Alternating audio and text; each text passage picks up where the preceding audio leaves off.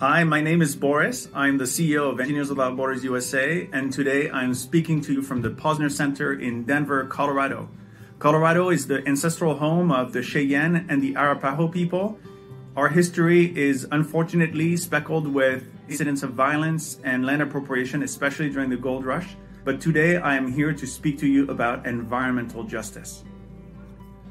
Today in America, there's hundreds of thousands of families whose homes are built downwind from toxin fumes from industry or in floodplains. There is thousands of families that don't have access to clean water. This is unfair. This is an injustice that engineers have a responsibility to address. Engineers Without Borders USA is mobilizing volunteers from the engineering profession to support community leaders in those communities to access the critical infrastructure they need to thrive.